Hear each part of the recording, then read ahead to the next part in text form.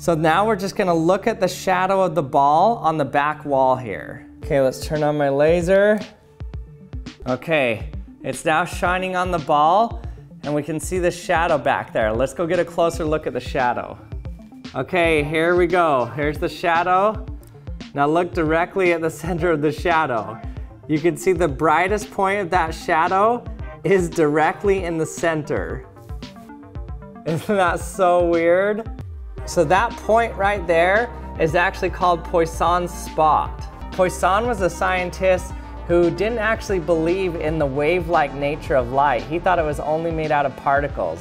And so he mockingly said that if it were actually made out of waves, according to the math, that would mean that if you had a perfectly spherical object, then directly in the center of it would be the brightest part of the shadow.